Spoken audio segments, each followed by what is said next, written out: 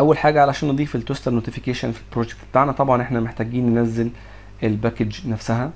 فهنروح على ال tools ونفتح ال packages بتاعتنا. ندور على في browse هندور على Toastr هنعمل لها download install تلاحظ إن كده بقى موجود عندك في scripts بقى موجود عندك سكريبت بتاع ال toastr وفي ال content بقت موجودة عندك الفايلات الخاصة بيه اللي هي بتاعت CSS طبعا فايلات ال LESS وفايلات ال SCSS إحنا مش هنستخدمهم. طبعا محتاج إن أنا أضيفهم في ال bundle بتاعتي فهروح على App Start وأفتح ال bundle config بتاعتي.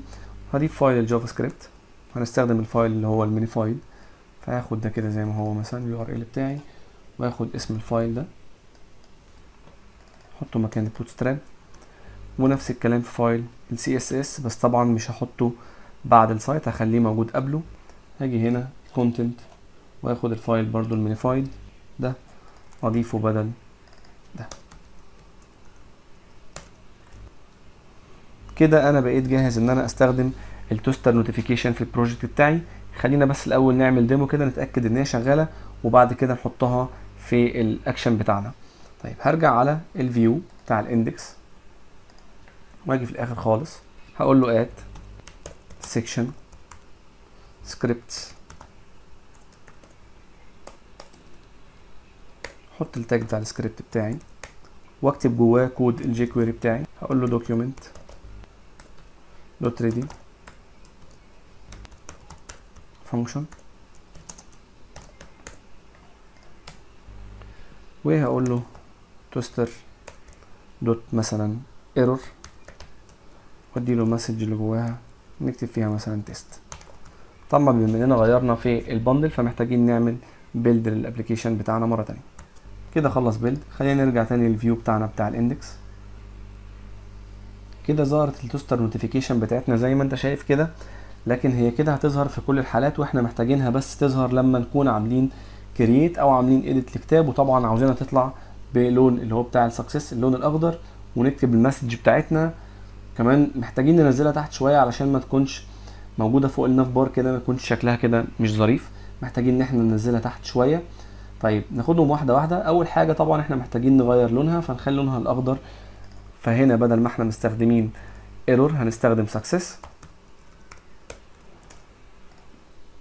تمام جدا كده لونها بقى الأخضر. طيب إزاي نعمل لها push تحت شوية؟ إزاي نخليها موجودة تحت ال nav bar؟ لو عملنا inspect وبعد كده عملنا refresh وقفنا عندها هنلاحظ إنها موجودة جوه container واخد ID اسمه toastr dash container فإحنا بالتالي هو ده ال container اللي إحنا محتاجين إن إحنا نديله مساحة زيادة فوق شوية علشان ينزل تحت وما يبقاش موجود فوق ال nav bar مباشرة.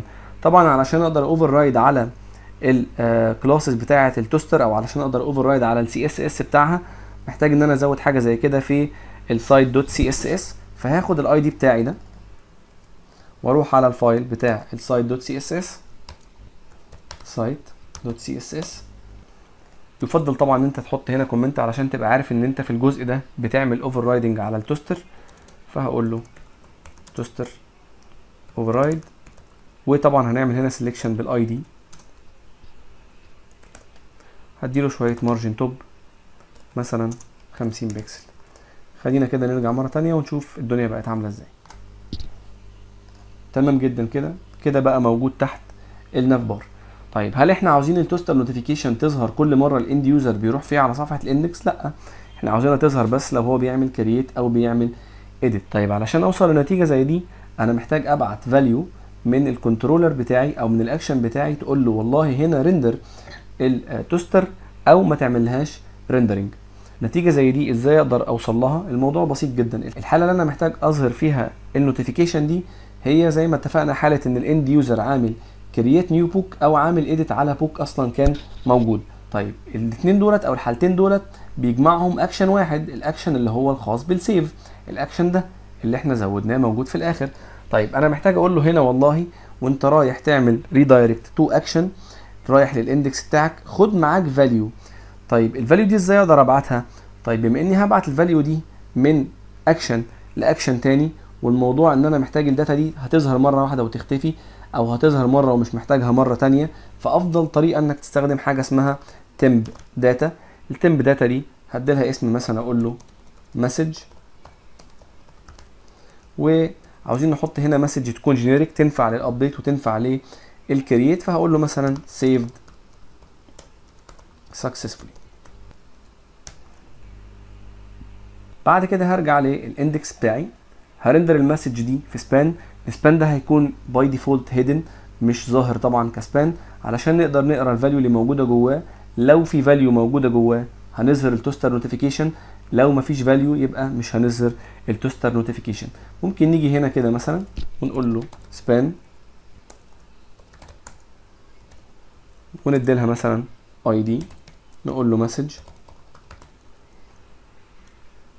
ودي هتكون عبارة عن ال temp data اللي إحنا عملنا لها creation ناخد اسمها من هنا. وندي لها ال class بتاع ال Bootstrap اللي هو d dash none اللي هو display none يعني. خلينا كده ن build ونعمل refresh مرة تانية. طبعا هي لسه بتظهر لأن إحنا لسه تحت في السكريبت بتاعنا لسه كاتبين إن هو يظهرها مع ال document dot ready إحنا كده محتاجين ن render السطر ده في حالة إن في value بس موجودة في ال span الخاص بال message الموضوع بسيط هاجي أعمل variable هنا هقول له مثلا variable اسمه message ال message ده هي equal select الأول طبعا بال ID بتاعي بتاع ال span اللي إحنا عملناه فوق. كان ID اسمه message واخد ال text اللي موجود جواه. هقول له والله لو ال message بتاعتك مش فاضية في الحالة دي بس اظهر ال toastr بتاعتك وطبعا مش هنكتب test لا هنحط ال message نفسها اللي إحنا باعتينها من الأكشن. تعالى كده نعمل refresh ونشوف الدنيا وصلت لحد فين.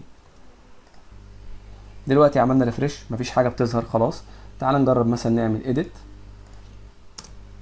save ظهرت عندي ال toastr notification زي ما انت شايف كده لما عملنا edit. تعال نجرب ال add new أقول له مثلا book for author for test save تمام جدا كده.